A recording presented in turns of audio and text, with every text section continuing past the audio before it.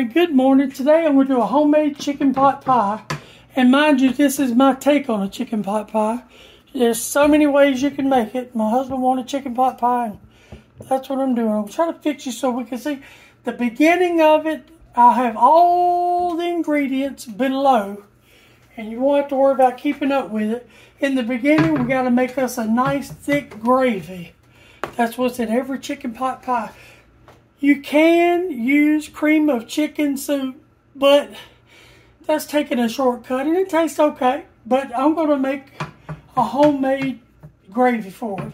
In my skillet, I have maybe four tablespoons of used grease that I keep in a pot in the refrigerator that I clean every time I use and put back.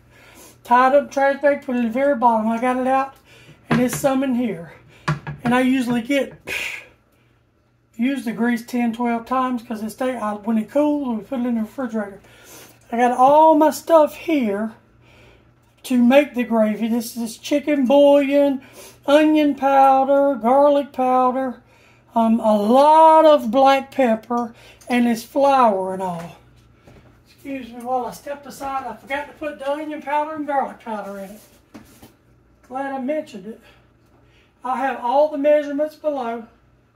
You won't have to worry about keeping up with the thing. And it's going to go really fast because I got everything sitting out. I'm trying to hurry before the flies get to it. okay. This might be about ready. I got my I got milk to make it a little creamy and I got water on standby for whenever I need it. Let's see how that's looking. Yep, there we go. We're on a roll now, people. Want to make sure there's no lumps in your gravy. But you want to brown it so it doesn't taste like flour. And you can brown it as dark as you want. I'm going to do this one pretty dark because he likes it like that. I hadn't made a pot pie in a while. So he asked me to make a pot pie. And my skillet is wonky to answer people's question because it's an expensive skillet and I use it just whatever because I bought it to only use with my non-stick tools, but I dropped it and now it's wonky, so I just use it for a gravy skillet. Not a big deal. And I have another one up there I use just for eggs and all that I use my non-stick stuff in. See, it's looking good already. Alright, because this is going to go fast. Just add a little milk to you. Don't want it overly creamy. There we go. There we go, ready for our water.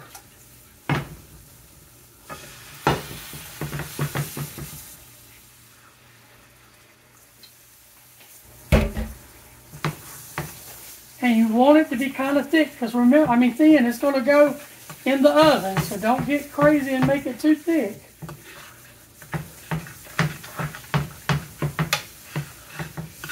Been having back trouble and leg trouble. If you see me moving around, it's just because I'm trying to keep my leg and my back from hurting. I'm going to put my milk in the refrigerator. I want it to sour.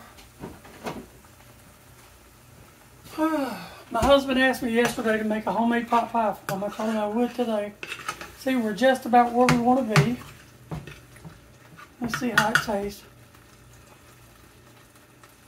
Perfect. Doesn't need nothing. Not a single thing. Now, I, I got um, a can of mixed vegetables over here and a can of peas and carrots because he likes a lot of vegetables. And I got um, a cup and a half of chicken breast. And that's what we're going to use. Okay? All right, I'm going to turn this off. I'll get you and bring you over here. Hold on. Let me get this in my bowl so I can get this in my sink.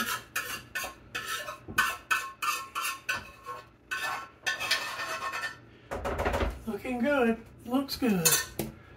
All right, let's get you in the sink so I can wash you shortly. All right, I'm going to move you with me if I don't drop you. Try to put you up high on the, the thing so you can look down. Let's see if that works think you might be able to see me. Okay, now, my spoon. I left it in the skillet.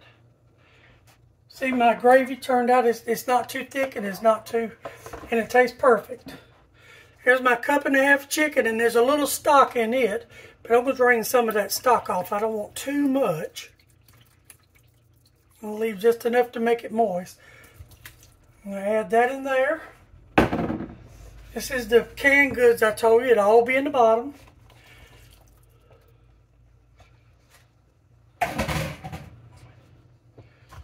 All right.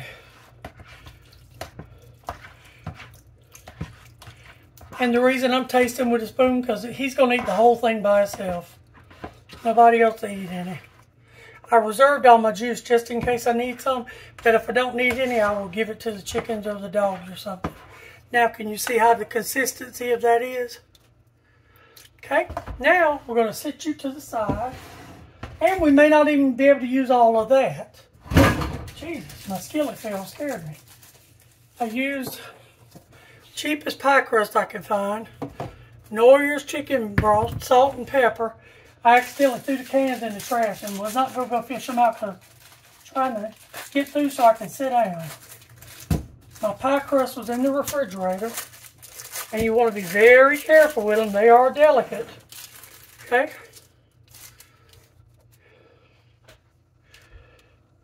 And it's just a, a great value. And if it tears, don't worry about it. You can fix it. See? Tore. Don't worry about it. Just keep unrolling. I've already buttered this iron skillet. So it is buttered. And you want to try to put it in the middle and mash the little tore places together. See, it doesn't matter if it's perfect. It's not going to be perfect. Good food usually isn't perfect. If it's too perfect, it's not that good. It's the way I feel about it. Could be just me, but... Now, do you see? I got that, and it's not all the way in there, but we're going to make a top for it, too. Okay.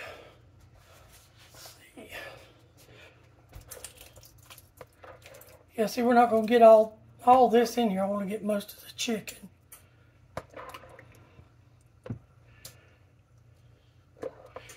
There's actually enough to make two if I wanted to. But I can freeze it and make another one later. Hmm, maybe a little more, let's see. I'll put it on a pan in case it goes over. It usually don't. See if I can get all that chicken out of there.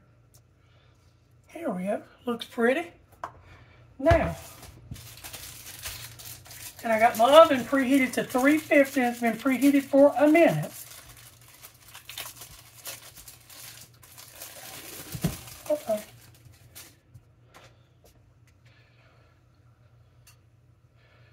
There again, if it tears, do not worry about it. It's not a big deal. And I assure you it won't be a big deal to him when he eats it tonight. Now, you want to sort of fold this inside the skillet since it's bigger than the skillet. You see how I'm doing that? Because the other one wasn't big enough to overlap it. So we're going to do like an inside pie, if that makes any sense. And we're going to cut vent holes in it so it won't boil over. It's got a few holes in it, but we're going to cut a few more. And we'll put it on a pan just in case it does boil over. Now we'll take a knife and we're just going to do some vent holes in it so it can vent while it browns.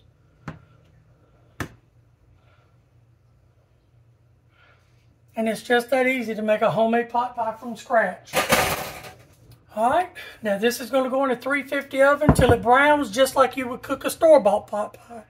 And I didn't have that much scraps left, so I'll probably give it to the dogs. They'll love it. All right, y'all. Thank you. Hope this helps. Bye.